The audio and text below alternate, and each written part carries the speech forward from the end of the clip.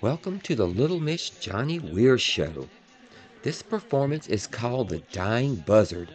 It's about a buzzard whose owner gets strung out on crack and quits feeding him and plucks out all his feathers to make a boa for some drag queen. I think he gets eaten in the end. I'm not sure though. Most people don't know, but Johnny grew up in the same trailer park as Tonya Harding in Mobile, Alabama. She was like 17 and he was like 28. They used to steal cars and rob houses together. They shared the same corner and dated some of the same guys.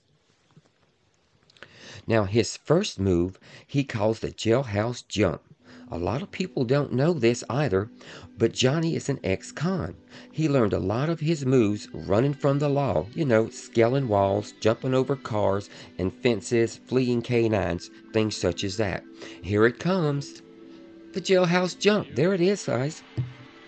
A lot of his spins he learned from twisting out of handcuffs and crawling through cop car windows.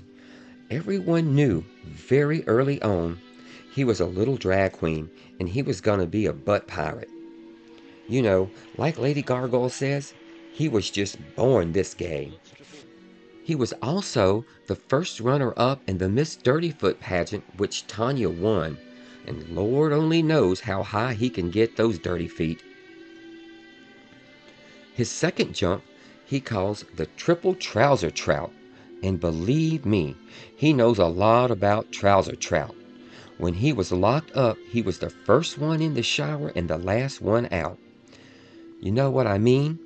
Up on one guy, down on one guy, up on one guy, down on one guy, jumping from cell to cell, his feet never touching the floor.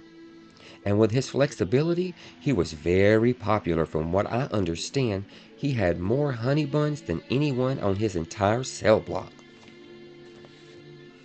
Now, this particular performance is dedicated to his dad, who used to live with a Shetland donkey that he eventually ended up selling to Tonya Harding. No one knows what the relationship was between him and the donkey, but his dad gets paroled in 2035 and I guess we can find out then. You know, it's just nice to see Johnny doing good.